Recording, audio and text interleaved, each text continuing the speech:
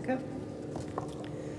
Sehr geehrter Herr Präsident, liebe Kolleginnen und Kollegen, die Reform der Arbeitslosenversicherung ist zwingend notwendig.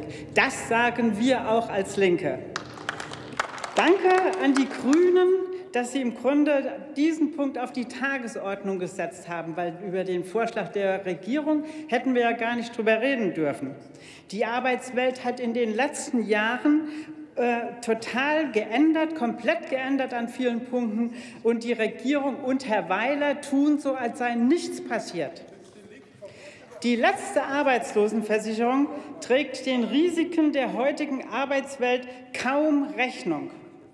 Allerdings, liebe Grünen, hätte ich mir gewünscht, dass Sie auch ein Wort dazu verlieren, dass weder prekäre Beschäftigungsverhältnisse noch die Lücke der Arbeitslosenversicherung ganz einfach so vom Himmel gefallen ist. Sie sind das Ergebnis falscher Politik und falscher politischer Entscheidungen und das mit Ihrem Zutun leider. Wir müssen ehrlich sagen, es muss maßgebliche Folgen der Harzgesetze, die einerseits die Beschäftigten die Beschäftigung unsicherer gemacht haben und die andererseits viele Löcher in der Arbeitslosenversicherung gerissen haben. Deshalb sind für uns Linke zwei Dinge absolut wichtig. Zum einen muss die Arbeitslosenversicherung reformiert werden und der Zugang zu ihr verbessert werden. Und zum anderen muss die Arbeit selbst wieder sicherer gemacht werden. Da dies noch nicht passiert ist, ist heute die Forderung der Grünen, kurzzeitige Beschäftigung und Selbstständige den Zugang zur Arbeitslosenversicherung zu erleichtern, doppelt wichtig.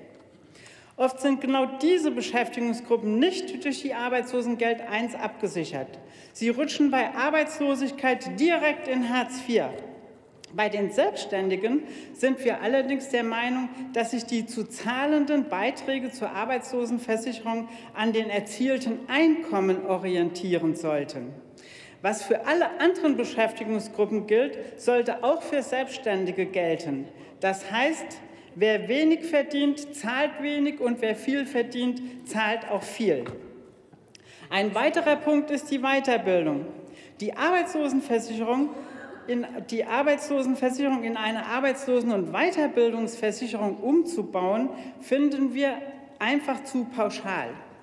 Ich frage mich, warum die Grünen nicht zunächst den bestehenden Systemen einen Rechtsanspruch für Weiterbildung gefordert haben, damit endlich an der Stelle auch was passiert.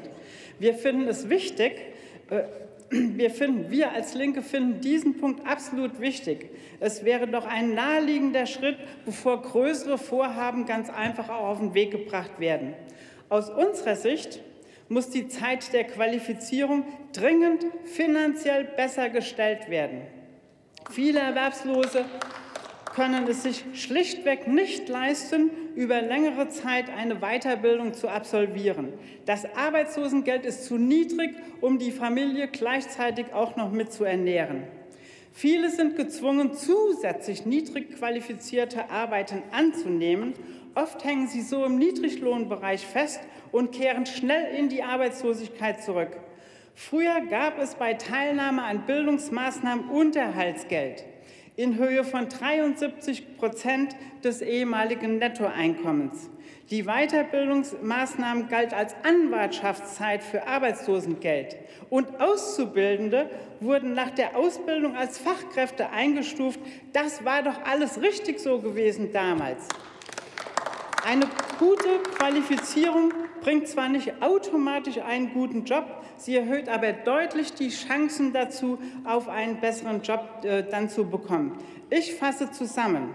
Liebe Grüne, Ihr Antrag geht aus unserer Sicht in die absolut richtige Richtung. Und von daher wünsche ich mir, mir, dass es uns gelingt, gemeinsam hart daran zu arbeiten, dass sich endlich die Bedingungen für die Menschen in der Arbeitslosigkeit auch verbessern.